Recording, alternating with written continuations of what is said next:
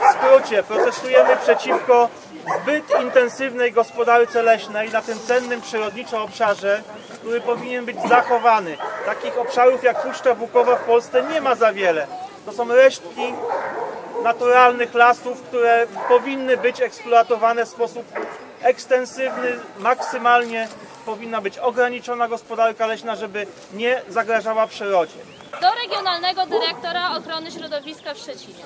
My, niżej podpisani, wyrażamy swój sprzeciw wobec prowadzonej przez Pana Urząd Polityki osłabiania dotychczas obowiązujących norm ochrony przyrody na obszarze Puszczy Bukowej, co wyraża się m.in. akceptacją planu urządzenia lasu dla Nadleśnictwa Gryfinów. e, w jaki sposób się wycina stare drzewa przy, przy szlakach komunikacyjnych, to także walory krajobrazowe. Chcemy, żeby to była Puszcza Bukowa, a nie typowy las gospodarczy, taki jak w wielu innych, przeważającej części lasów w Polsce.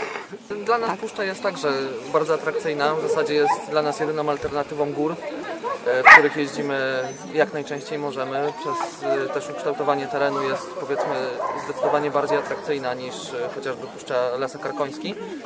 No i dlatego też staramy się w jakiś tam sposób wziąć udział w całej akcji, żeby pokazać, że po pierwsze rowerzyści, rowerzystom też jest ważny los puszczy, a po drugie, że nie zgadzamy się właśnie z taką gospodarką leśną, jaka w tym momencie jest prowadzona.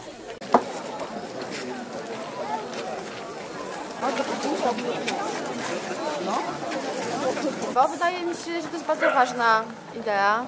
I Nie powie... I że to też jest dla dzieci bardzo ważne.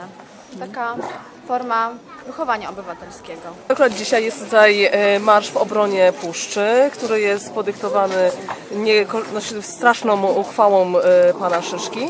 No i właśnie protestujemy razem z innymi mieszkańcami Szczecina przeciwko wycince drzew.